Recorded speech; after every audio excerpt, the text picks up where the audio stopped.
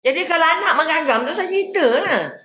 Sama juga kita. Kalau kita tak ambil berat tentang pengajaran agama dengan diri kita. Tak payah anak dulu, kita dulu. Semua mak impiannya nak anak-anak jadi baik, anak jadi tuan jenis-jenis. Tapi dia terlupa dia nak jadi apa. Semua kita menjadi saksi kepada ungkapan membaharui dua kalimah syahadah. Bukan nak kata, oh lah macam kita bukan orang Islam lah. Dah, orang Islam tak boleh pakai keturunan. Islam tak boleh pakai ikut-ikut. Islam tak boleh ngaku-ngaku. Kalau tak ada ilmu tentang Allah. Tidak ada ilmu tentang agama. Sebab itu kita sibuk kejar. Apa sebab Yahudi suruh kita kejar sijil dulu? Ijazah dulu. Segala benda dulu. Tertinggal agamanya. Tidak ada syarat-syarat dalam pekerjaan di Malaysia yang memerlukan agama. Kecuali nak pergi pejabat agama lah agaknya. Nak bekerja di pejabat agama. Pejabat lain minta ampun lah. Okay. Zaman-zaman muda-muda dulu agama jadi subjek elektif pilihan. Okay. Yang ustaz dia pun tak banyak semangat untuk nak membantu anak mem- mengambil subjek agama. Sebab dulu agama dengan lukisan setaraf. Ni zaman saya lah SPM. Okay. Siapa tak nak baca pakai lukisan. Siapa nak kena baca pakai agama. Dan ustaz pula benarkan pula tu tak ambil agama.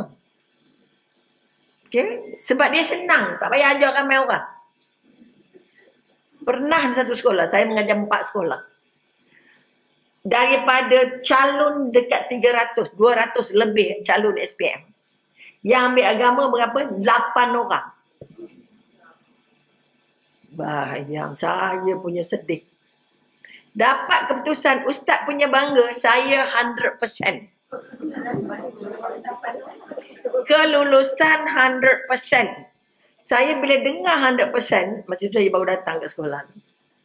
Ustaz, 100% tu berapa orang yang ambil? Tiga kelas SPM kok. Empat kelas SPM. Dua sains, dua sastra. Yang ambil agama, lapan orang. Itu yang dibangga Ustaz 100%. Saya kata Ustaz kena jawab kepada Allah besok. Kerana menjadikan agama sebagai subjek untuk hidup dunia tapi tak jadi hidup di akhirat. Jadi kalau anak mengagam tu saya cerita lah. Sama juga kita. Kalau kita tak ambil berat tentang pengajaran agama dengan diri kita. Tak payah anak dulu, kita dulu. Semua mak impiannya nak anak-anak jadi baik, anak jadi tuan jenis-jenis. Tapi dia terlupa dia nak jadi apa. Sebab dia dia periuknya. Anak senduk dari periuk kita. Jadi saya mohon puan-puan balik nanti kumpul anak cucu. Sama-sama pasak dua kalimah syahadah. Kerana ini lesen pertama yang Allah tanya. Kamu layak dapat pahala dari ibadah kamu. Kamu layak diterima ibadah kamu. Ha, ini yang kita lama tertinggal. Semua sekolah kafar mula dengan solat. Tidak mula dengan syahadah. Sebab tu kita semak anak kita. Dua kalimah syahadah tu macam mana ya? Anak-anak di kampus tak tahu perkataan dua kalimah syahadah. Okay. Bila kalau mengmi dengan beberapa universiti. Anak dah tahun tiga, tahun empat. Jom kita baharui syahadah. Dia tengok muka macam ni. Syahadah. Mai kita baru dua kelima syahadah kita. Dua kelima syahadah. Kawan-kawannya kait dari bawah. Ngucap. Okay. Oh ngucap. Ngucap saya tahu sebut. Tapi saya tak tahu makna. Rasa-rasa syahadahnya diterima atau tidak? Menggigil-gigil datang ke depan ni. Badannya ketua pelajar tu. Sama juga orang jemaah tadi yang ramai yang datang ke depannya apa? Saya kata awak boleh ngucap kan? Boleh tapi kenapa gigil ni? Okay. Orang yang nak pencil lagi tiga bulan tak boleh syahadah. Bagaimana dia menjalani hidup dia? Kalau tak faham aku bersaksi tiada Tuhan yang disembah. Itu paling mahal. Disembah maknanya apa? Taat disembah maknanya aku, disembah makna ikut, disembah arti tempat bergantung, disembah tempat mengharap, disembah tempat nak jumpa. Impian kita apa? Nak jumpa? Nak jumpa Allah tapi dalam hidup jumpa ke tak? Kalau dua kali masyarakat tak dia tak jumpa, minta maaf banyak. Okay? Dia mesti mengalir dalam darah. Ini yang terlaku pada sahabat. Sebelum ada perintah solat, sahabat dah angkat tangan, yes, kami akan bersama dengan kamu. Sebab tak lepas tahun ke-13 Nabi hijrah. Berapa ikut? Ha, ikut. Dia hanya ada dua kali masyarakat. Bila disiksa setengah mati. Sebab apa? Ada perkataan, ahad je baru. Baru kata Allah itu tunggal, Allah itu satu, Allah itu esa saja. Tapi terpahat keyakinan sampai ke darah. Sebab itu dia cakap pada Muawiyah, majikan dia. Engkau buatlah apa, engkau siksa lah jasad aku. Tapi kamu tak akan mampu untuk lekangkan balik keyakinan aku yang sudah aku dapat dari Muhammad. Sebab itu berbangka keluar ratus-ratus dirham untuk beli Bilal. Kamu nak berapa ni hamba kamu ni? Aku nak beli ni.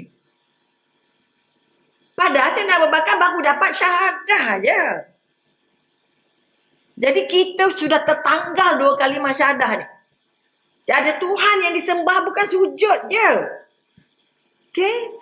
Tuhan yang disembah, Tuhan yang paling dicintai. Tuhan yang paling diikuti dan ditaati. Tuhan yang paling dekat dengan kita. Masa PKP pegang mana? Kiri ke kanan? Kiri. Kenapa pegang kiri? Tak pegang kanan? Agak-agak lu. Tembak dari segi saya. Ada jantung. Siapa pernah jantungnya berhenti? Tak ada kan? Kalau berhenti jadi apa? Jalan terima kasihnya berapa banyak? Syukurnya berapa banyak? Sedarnya berapa banyak? Insafnya berapa banyak? Sepanjang hidup ni jantung tak pernah berhenti. Siapa jaga? Allah. Allah dekat ke jauh dengan kita? Mana lebih dekat Allah ke suami? Rata-rata. Cari reda Allah ke reda suami? Ya Ini kekuatan yang nak diangkat. Pegang jantung tak pernah berhenti. Syukurnya tak pernah jumpa. Nampak tak? Kawan-kawan yang dah pergi IJN. Ya Allah syukur doktor. Saya buat open. Apa? Bypass. Syukur Alhamdulillah ya Allah. Allah makin baksa. Barulah ni syukur. Sebelum tu, sebelum bypass, bypass, bypass. Awak dah bypass syukur berapa puluh tahun. Betul ke tak? Kita rasa tak ada baru rasa ya Allah bahagianya, ya Allah nikmatnya. Selagi ada matahari ni bahagia tak kita? Berapa orang syukur dapat tengok matahari pagi? Sebab kita dah rasa itu macam percuma. Tetapi itu tanda, tanda cinta Allah, kasih sayang Allah. Jadi terima kasih kita bila? Sama juga jantung kita dah rasa ini Allah jaga. Tapi tak rasa Allah dekat dengan aku ni. Allah ni dalam dada aku ni. Allah ni dalam urat saraf aku ni.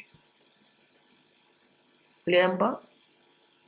Jelas kita tidak akan berubah jadi lebih baik selagi kita belum rasa. Allah tengok aku, Allah jaga aku, Allah bersama dengan aku, Allah bagi rezeki ke aku, Allah bagi aku hidup. Lah ni, tak tahu esok.